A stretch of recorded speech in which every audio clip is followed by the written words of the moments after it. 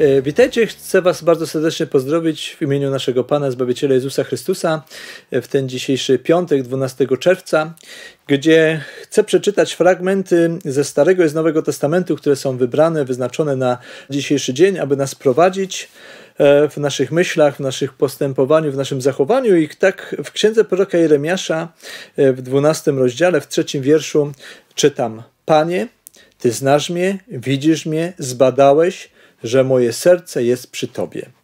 A drugi fragment to słowa zapisane w Ewangelii Jana w 15 rozdziale, 9 wiersz, gdzie Jezus mówi: Jak mnie umiłował Ojciec, tak i ja Was umiłowałem, trwajcie w miłości mojej.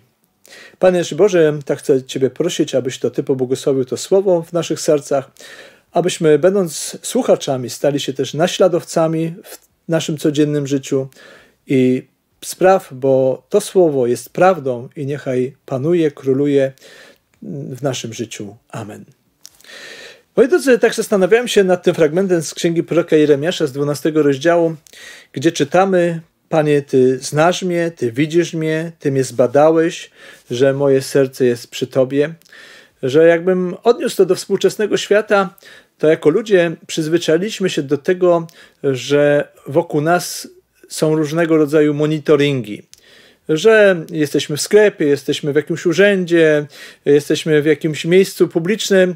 Wiemy, że śledzą nas kamery, jesteśmy e, pod obserwacją, że wszystko jest zapisywane, e, a zarazem e, jesteśmy tymi, którzy e, lubią też analizować, którzy lubią e, śledzić różne sondaże, patrzeć i obserwować, co się dzieje w świecie i wyciągać z tego wnioski, bo daje nam to, tak jak ten monitoring, jak na przykład audyt, gdy na przykład jakaś firma chce sprawdzić swoją e, mocną czy słabą stronę, co trzeba poprawić, co trzeba zmienić, żeby ktoś ich skontrolował, żeby ktoś nas zbadał, żeby ktoś się o nas coś dowiedział, żeby mógł to potem przeanalizować i nam podpowiedzieć, powiedzieć, że z jednej strony daje nam to takie poczucie bezpieczeństwa, że mamy wszystko pod kontrolą, że czujemy, że nad tym panujemy, bo właśnie e, wszystko widzimy, wszystko jest zbadane, wszystko jest skontrolowane, ale z drugiej strony czasami słyszymy we współczesnym świecie, że e, ten monitoring, ta ciągle e,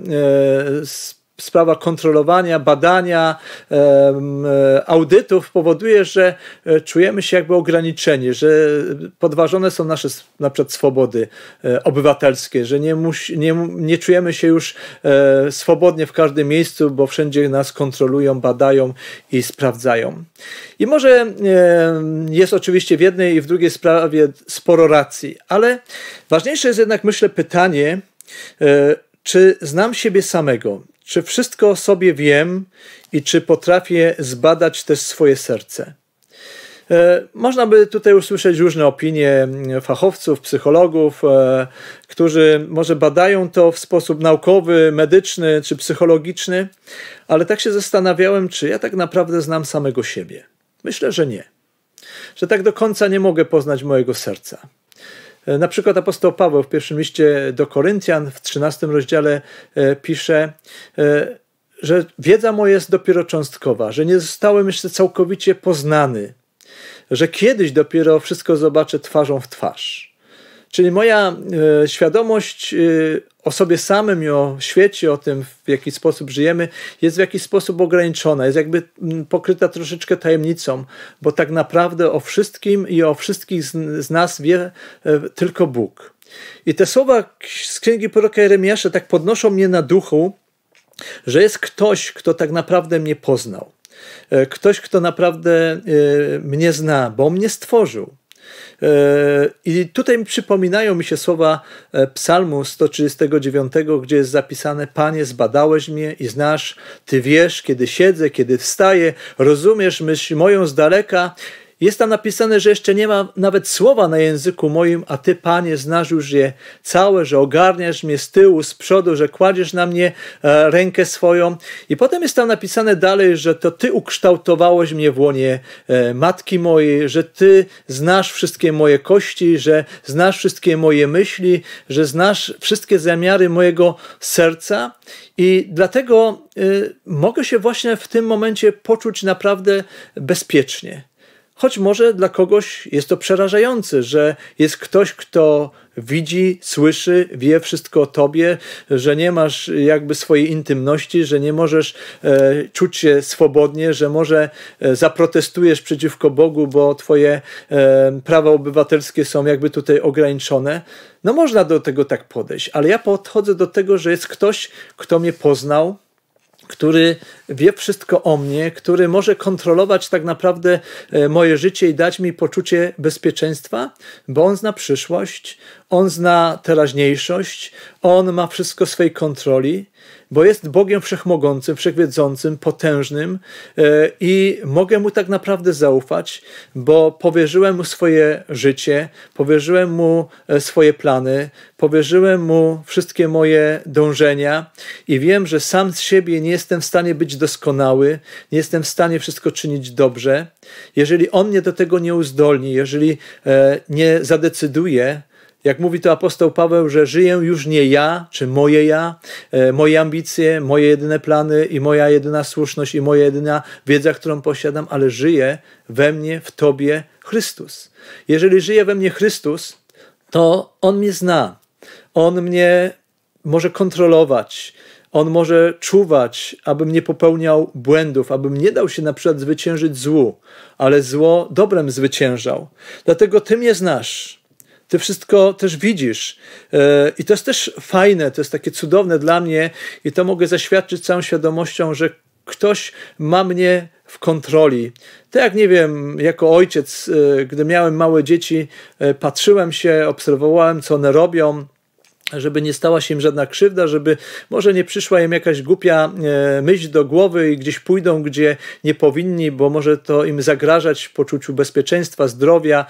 Więc Gdzieś to patrzę, kontroluję, pilnuję nie dlatego, żeby ich ograniczyć, nie dlatego, że e, mam mieć nad nimi władzę i panowanie, ale właśnie dlatego, że kocham dlatego że chcę, żeby były bezpieczne. Ja znam pewne konsekwencje, ja znam pewne sytuacje, które mogą być dla nich zagrożeniem, a one, dzieci, tego jeszcze do końca mogą nie rozumieć, pomimo tego, że mogę ich ostrzegać. I my wiemy, że to nam nie wolno, tamto nie wolno, że to jest niebezpieczne, że tu i nie idź, ale jeżeli ktoś nas kontroluje, bo zawsze widzi, e, bada też e, nasze intencje, bada też nasze myśli, to może je skorygować, może mnie e, gdzieś zatrzymać, może nawet spowodować to, że gdzieś będę odczuwał może tą rękę, która mnie zatrzyma, gdzieś przez jakąś myśl, może przez jakiegoś człowieka, żebym nie popełnił błędu, żebym nie popełniał głupot, żebym się w coś nie wpakował, żebym właśnie nie dał się zwyciężyć złu, ale zło dobrem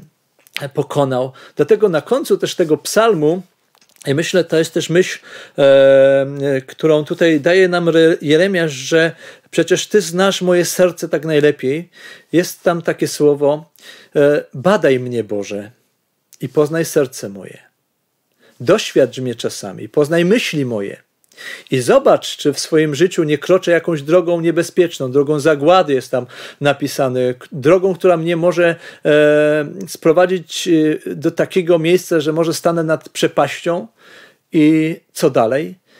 Dlatego badaj mnie, poznaj serce moje, doświadcz mnie i zobacz, czy nie kroczę drogą zagłady, grzechu, niebezpieczeństwa, zła, e, braku miłości, odpowiedzialności za słowa i czyny a prowadź mnie drogą zbawienia, prowadź mnie drogą odwieczną, drogą pewną, bo Ty sam ją poszedłeś, sam wszystko przygotowałeś i masz to wszystko w kontroli. I chwała za to, że takiego Boga mam, który widzi, który słyszy, który zawsze o mnie pamięta, że do Niego mogę przyjść o każdej porze dnia i nocy i wiem, że On ma wszystko w swojej kontroli i kiedy jest mi źle, kiedy jest mi też ciężko, kiedy się pogubię czy pobłądzę, to On może zbadać, e, On może mnie naprowadzić z powrotem, On może mnie wyciągnąć z różnych tarapatów, jeżeli będę Mu ufał, jeżeli będę Mu wierzył, to On też mnie będzie prowadził aż do końca e, moich dni e, tą drogą zbawienia, bo On sam powiedział o sobie, Jezus Chrystus, jestem droga, jestem prawda, jestem e, życie wieczne. I zakończę takim opowiadaniem, które Ktoś mi kiedyś mówił, że była sobie dziewczynka, która nigdy nie jechała jeszcze pociągiem. I babcia postanowiła, że na urodziny zrobi jej taką przyjemność i wykupiła bilety, wsiedli do pociągu, ruszyli w drogę. Dla tej małej, kilkuletniej dziewczynki było to coś fascynującego, niesamowitego, bo po raz pierwszy jechała pociągiem, była przyklejona do szyby, podziwiała oczatający ją świat, jak wszystko e, się ruszało, jak szybko wszystko e, gdzieś tam mijało, gdy pociąg bardzo szybko, e, gdy pociąg bardzo szybko jechał. I nagle dziewczynka była przerażona i mówi: Babciu, może coś strasznego się stanie, bo zbliżamy się do rzeki i prawdopodobnie ten pociąg do tej rzeki wjedzie i wszyscy się utopimy. A babcia mówi: Spokojnie, spokojnie, nic się nie stanie. No i okazało się, że pociąg bezpiecznie przejechał przez most i znaleźli się po drugiej stronie tej rzeki. I za chwilę znowu dziewczynka krzyczy: Babciu, będzie tragedia, bo zbliżamy się do ogromnej góry i chyba rozbijemy się o jej e, brzeg. A babcia mówi: Spokojnie, wszystko jest w kontroli, e, wszystko jest już zaplanowane, przygotowane, nie zdradzając jakby szczegółów. No i pociąg przyjechał przez tunel na drugą stronę e, tej góry i wszystko było e, z porządku, wszystko było wspaniale. I wtedy ta dziewczynka mówi do swojej babci. Wiesz co, tak się zastanawiam, że musiał ktoś już tą drogą tutaj przed nami jechać i wszystko przygotować, żebyśmy mogli bezpiecznie dotrzeć do celu. I myślę, tak jest też z nami. Przyszedł na świat Jezus Chrystus. On wszystko już bezpiecznie przygotował, zaplanował, podporządkował i tylko on nas zaprasza. Wsiądźmy do tego pociągu, a On ma wszystko w swojej kontroli, On wszystko widzi, wszystko wie, wszystko zna i bada moje serce. I nie muszę się bać, nie muszę się e, lękać, e, bo On przeprowadzi mnie na tą drugą stronę z doczesności do wieczności i też przez każdy, każdy dzień, bo powiesz Panu drogę swoją, zaufaj Mu, a On wszystko dobrze uczyni. Amen. Módlmy się. Wszechmogący Boże, nasz Panie, tak dziękujemy Ci, że Ty masz wszystko w swojej kontroli, że Ty widzisz, że Ty badasz, że Ty wiesz, że Ty potrafisz poznać do końca tak naprawdę moje serce, moje myśli, moje pragnienia, moje dążenia, kiedy ja sam siebie tak naprawdę znać nie, i poznać nie potrafię. Dlatego w Twoje ręce powierzam się i dziękuję Ci, że Ty jesteś takim Bogiem, który zbadałeś mnie i znasz, Ty wiesz, kiedy siedzę, kiedy wstaję, który ogarniasz mnie z tyłu, z przodu każdego dnia, kiedy w Twoje ręce powierzać się mogę, ale też i mogę powierzać życie mojego domu, mojej rodziny, moich bliskich, mojej też teraz też teraźniejszości, kiedy może jest nam ciężko, kiedy jest nam źle, kiedy się może boimy, kiedy się lękamy, kiedy mamy różne obawy, to Panie, przychodzimy do Ciebie, a, a Ty na pewno nas wysłuchasz. Dlatego wołam też i do Ciebie i chciejmy wszyscy zawołać słowami właśnie też i tego psalmu 139. Badaj mnie Boże i poznaj serce moje, doświadcz mnie czasami i zobacz, czy nie kroczę drogą zagłady, a prowadź mnie drogą odwieczną, drogą zbawienia, drogą, która jest pewna i niezmienna, bo jesteś nią sam teraz i na wieki, a wysłuchaj dla imienia Jezusa Chrystusa, Pana i Zbawiciela naszego. Amen.